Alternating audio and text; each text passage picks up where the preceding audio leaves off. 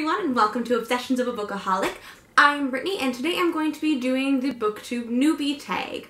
Now if you've paid any attention or if you've seen any of the previous videos or even if you're just new here and just click on the channel, you might notice that this isn't actually my first video.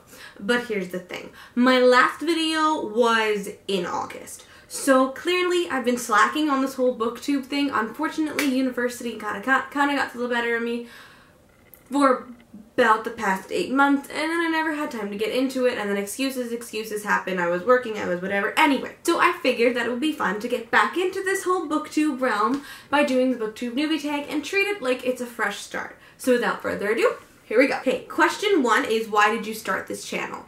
So I think my question is my answer to this question is probably going to line up with most other people's in that I just love reading.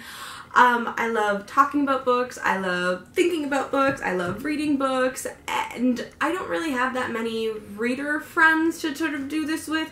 So I figured that joining a community full of people who do love to talk about and think about and read their books um, would be a good outlet for all of my emotions and my opinions and all of the pain and the heartache and the beauty that is fiction. Question number two is what are some fun and unique things you can bring to booktube? So um, this question kind of stumped me because I think there's so many different channels out there already that a lot of us are going to have some similar tastes, some similar viewpoints, and I'm not really all that concerned with being completely original. I'm kind of quirky and I have my own little bits of weirdness, so I'm hoping I'll bring some of that and my own silly, goofy side to the booktube. But for the most part, other than that, I think maybe something I can bring to this would be um, some books that you might not have read or you might not know about. I get a lot of the books that I read from thrift shops or from the bargain section. So from that you might get some recommendations that you might not have thought of, things that you might not have known existed, or books that might have completely slipped past your radar and then you find out that they're actually pretty good and you might want to go back and they might be worth the read. Question number three is what are you excited most about this channel? Honestly, I think I'm doing exactly this. Um, I'm not really used to being on camera or to being the face, I guess, online. Um, I have my blog, my writing blog, which I started like three years ago where I like physically type out reviews of books and I love that. And I'm more comfortable, I think, kind of behind the screen, but I figured this would be a good way to sort of test myself and push myself out of my comfort zone, so I thought that would be fun. And so I guess one thing that I am excited about is really pushing through that and then getting comfortable with that and digging into all these different tags and all these challenges and just all the reviews and everything that the book um, booktube community is and then seeing how then I evolve with that and if I confidence gets better or get more and more comfortable with this, then we'll go from there. Question number four is why you love reading. This one's tough to answer. Um, I don't want to just say because I love it, even though that's kind of the answer. Um, I think it affords a bit of an escape, and I know a lot of people say this is one of the most popular reasons that people like reading, but life is tough, um, and fiction lives are often tougher. And so sometimes it offers that brief reprieve from whatever I'm going through. If I pick up this syrupy contemporary because I just want to feel good, or I pick up this deep and detailed high fantasy because I want to see something else and I just want to be completely immersed in somebody else's world. It's sort of a transportation into something totally different, maybe something that I won't be able to experience here. And so I think it's amazing to be able not only to escape or take yourself out of your own life, but then to also experience these things that outside of books you wouldn't really ever get to experience. Question number five is what is the book that got you into reading? So I mentioned this in one of my previous videos, but since it's a fresh start, I'm going to mention it again. Uh, it's the Gallagher Girls series by Ally Carter about this girl named Cammie who goes to a school for spies. Um, and the next five or six books are spent basically full of kidnappings and missions and love triangles and adventure. I eat that spy stuff up like it is candy for one. Two, I love adventure. And three, it was just the taste of romance that my sixth grader self needed to sort of ease myself into the genre when everybody was like, oh my god, boys have cooties or they don't have cooties anymore. Another series I guess would also be the Twilight series by Stephenie Meyer, which is a popular one I've heard for getting people into reading. I read it that same year as I started the Gallagher Girls series, so it sort of all just goes hand in hand. I'll say like after I was getting off the high of the I Tell You I Love You But Then I Have to Kill You, which is the first of the Gallagher Girl ones, and then Twilight was right there and I just kind of picked that up and then I was just set for a life of obsessing over books. Okay, number six is what questions would you ask your favorite booktubers?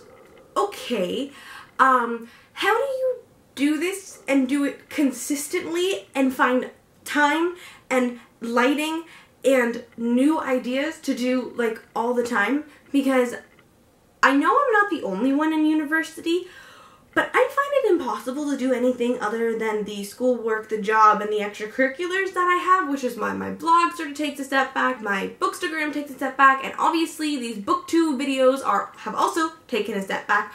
So how do you do this consistently without issue or I guess with issue and you overcome issue because I would love to know whatever tips and tricks you have for consistently reading and consistently filming and consistently posting so that the next year that I have, I don't completely fail again. Hey, next question is what challenges do you think starting a booktube channel will be the hardest to overcome? I mentioned the getting comfortable with being in front of camera. That'll be something interesting to sort of boost. Also, definitely timing. I am busy. I know I'm not the only busy one, but I kind of freak out when I get busy and then I don't know how to make time for things that I want to do when I'm busy doing the things that I don't want to do or things that I have to do and then I just have no time to do anything at all. P.S. I will also consistently probably talk very, very fast when I get heated or excited about something over the course of this channel, so stay tuned for more rambling. Um, so definitely keeping up on top of things will probably be one of the challenges for me, as well as, as I mentioned before, when my asking questions, please help me. Finding lighting, finding time. I need an empty house.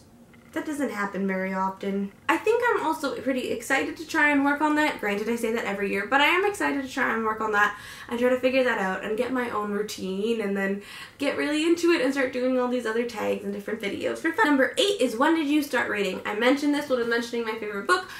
I've been reading since basically infancy, but I'll say definitely started that obsessive level reading that has gotten me to where I am today and about grade 6, so I would think I was like 11 or 12ish. We used to have these scholastic book order flyers that we would get in our classrooms and up until grade 5 we got all the primary school ones, so I was reading Geronimo Stilton and the Rainbow Fairies and stuff. My reading level was farther than that, so I stopped ordering things and I stopped reading for a bit of time. Then grade 6 came and we got the senior level book orders. And that's how I found the Gallagher Girls one. And that's how I started reading Romeo and Juliet and Shakespeare and all of the stuff that I absolutely love reading now. That was kind of the bridging, the entrance into it. And that started in grade 6 because that's when I got the flyer. And then since then, I have been an addict without a cure. Um, question number 9 is where do you like to read? A lot of answers to this. One is I like reading in bed, not when I'm about to go to sleep. I know people who read like a chapter before bed. I wish I was one of those people and I was capable of that. Unfortunately, I am not because I read one chapter and then I have to finish the book and next thing you know it's 5 a.m. I'm getting up in two hours and I am completely exhausted. But in my bed, usually until like 4 or 5 a.m. Uh, I also like reading outside a lot, so lawn chairs and not necessarily tanning because I burn like a lobster, but just being able to sit outside in the fresh air, from time to time my pool. I also really like reading on the roof. Um, one of the joys of the suburban life and the way my house works is that my window, I can push it up enough and then just climb out onto the roof and the roof isn't too too steep so I can actually go sit on it and I just crawl around the other corner and I can watch the sky and I can read my book. I fix that up especially when you feel like you need an escape. Question number 10, the final question is what kind of books do you like to read? I don't really know how to answer this one because you see there is the fantasy and the high fantasy and the romance and the YA mostly. This will mostly be YA, but then there's some of the adult fiction and I really like new adult fiction because it's most close to my age group and it makes me feel like I can connect to them better, but then there's mystery. Mystery is really cool like murder mystery or true crime stuff like that. So I will mostly read anything. So instead of answering that question, I think I will note some of my favorite books and I will sell some of the things that I will not read. Number one that I will not read is a horror. I hate horror. I can't do horror. I can't do ghosts. I can't do paranormal activity and any of those movies and definitely not reading them in book form because it just gets so much more real.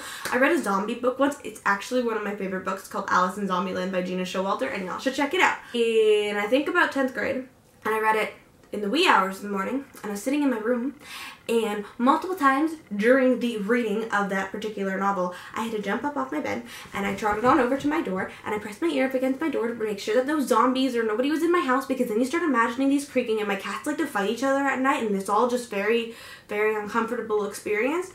So probably not a good idea when it comes to the horror stuff. Although horror elements in fantasy books and stuff are some of the most exciting so we'll call it like a loose rule. Number two that I will not read, and you will probably hear me complaining about it again in any multitude of videos, is I don't like romances between best friends when they've been best friends for like forever. So if a book I find has that I will probably stop reading it, set it aside, and give it to charity. And number three is I don't usually read those real deep contemporaries. I haven't read things like 13 Reasons Why, although I meant to, I haven't yet read um, The Hate You Give, things like that. I tend with reading because I prefer that escapism kind of thing. I like things that are going to pick me up or make me excited or suspenseful, but in the less, I guess, intense way. Um, I'm trying to break into that genre a little bit more. I think I should give it more of a chance, but I do sort of lean towards things that are going to give me that high fantasy element. Fantasy is probably my favorite genre, to be entirely honest, as long as there's a hefty dose of romance.